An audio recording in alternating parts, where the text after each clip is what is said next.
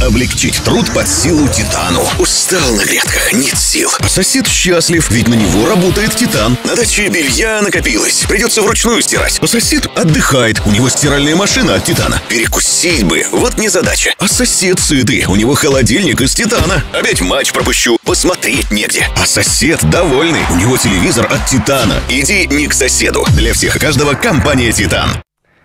Вступил в силу приговор ревнивцу Юрию Глушкову, которого обвинили в убийстве мужа своей бывшей возлюбленной. 38-летний мужчина теперь отправится в колонию строгого режима.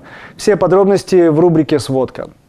Ленинский районный суд вынес окончательный приговор 38-летнему чепчанину Юрию Глушкову. Преступление произошло в сентябре прошлого года в квартире на улице Ленина в микрорайоне Солнечный берег. Глушков узнал, что его бывшая девушка Светлана вышла замуж за другого. Ради этого Юрий приехал из Крыма к ней домой, чтобы отомстить. В квартире он встретил своего соперника, 26-летнего Дмитрия. Напал на него и более 20 раз ударил ножом. Светлане стал угрожать убить. Девушка испугалась и согласилась уехать с Юрием. Позже ей удалось удалось сбежать и сообщить обо всем в полицию. Глушкова задержали в Нижегородской области. В июне его осудили по факту нарушения неприкосновенности жилища, угрозы убийством, а также по факту убийства. Глушков приговор обжаловал, однако его оставили без изменения. В итоге осужденный теперь отправится в колонию строгого режима на 14 лет и 2 месяца. Также отцу погибшего он должен будет оплатить похороны, это 139 тысяч рублей, а также выплатить 5 миллионов рублей морального вреда.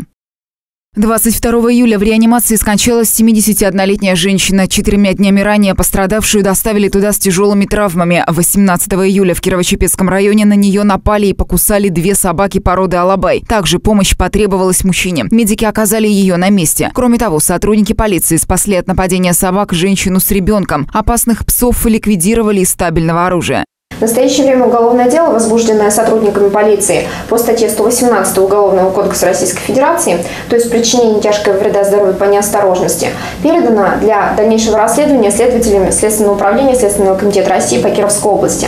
Данное уголовное дело переквалифицировано на более тяжкую статью, на статью 109 Уголовного кодекса Российской Федерации, то есть причинение смерти по неосторожности. Хозяина собак нашли, с ним работают следователи. Расследование уголовного дела продолжается.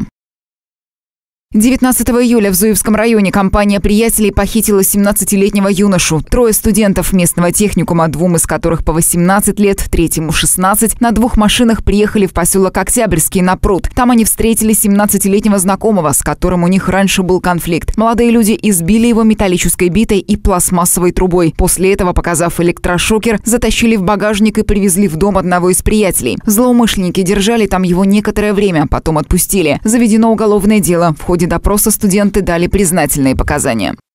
Решил воспользоваться невнимательностью девушки-водителя Kia и забрал кошелек, который она потеряла. Инцидент произошел 25 июля на заправке у путепровода на улице Воровского. На записи с камер видно, как девушка на синей Kia выезжает с заправки. Видимо, она забыла кошелек на крыше автомобиля, когда расплачивалась, и он упал на дорогу. Хозяйка кошелька уехала. Он какое-то время так и лежал на дороге, пока его не заметил водитель серого Датсун. Мужчина вышел из машины, поднял находку и забрал себе. В кошельке было водительское удостоверение удостоверения, банковские карты и деньги – 15 тысяч рублей. Когда девушка заметила пропажу, она решила провести собственное расследование и нашла владельца Датсуна во дворе Новоровского. Мужчина вернул кошелек и извинился. Девушка заявлять в полицию не стала.